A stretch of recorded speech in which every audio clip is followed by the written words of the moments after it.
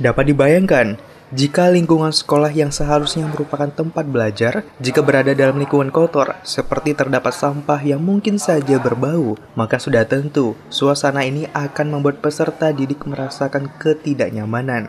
Namun justru sebaliknya, apabila lingkungan sekolah bersih dan bebas dari sampah, maka dapat dipastikan suasana belajar akan menjadi lebih menyenangkan.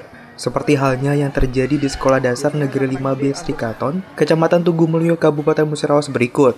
Sekolah ini menjadi salah satu sekolah dari seluruh sekolah dasar se-Kabupaten Mura yang terus memperhatikan dan menerapkan hidup bersih. Hampir di setiap sudut, tumpukan sampah pun sudah jarang ditemui. Hal ini dikarenakan pihak sekolah selalu memberikan arahan kepada siswanya setiap hari bahwa sampah sudah seharusnya dibuang ke tempatnya, yang dalam hal ini ialah kotak sampah. Seperti yang diketahui, anak seusia sekolah memang kerap membeli jajanan kemasan. Namun lantaran telah diberikan motivasi hidup bersih, kebanyakan siswa pun telah mengerti yang kemudian memasukkan kemasan jajan tersebut ke tong sampah sesuai jenisnya, ada kertas, plastik, dan lain sebagainya.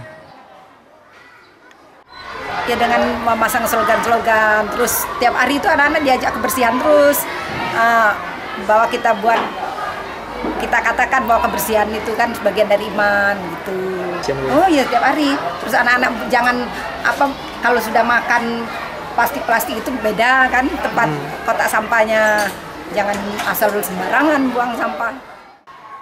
Selain itu, juga telah disediakannya tempat mencuci tangan di setiap masing-masing ruangan belajar yang lokasinya pun berada di luar toilet, sehingga dapat memudahkan akses siswa maupun siapa saja yang hendak mencuci tangan. Sejumlah hal tersebut sudah seharusnya diajarkan kepada siswa untuk menumbuhkan kesadaran bahwa kebersihan dan kesehatan merupakan hal penting. Contohnya, dimulai dari hal kecil inilah, yakni mencuci tangan yang baik dan benar.